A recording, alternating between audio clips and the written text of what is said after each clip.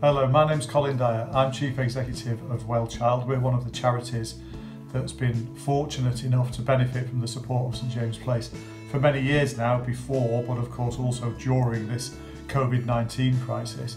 I just want to thank everybody at St James Place really for the fantastic way the company has, as always, listened to the needs of the families we support and adapted with us as we've put new services in place to make sure some of the most vulnerable children and young people aren't abandoned during this crisis.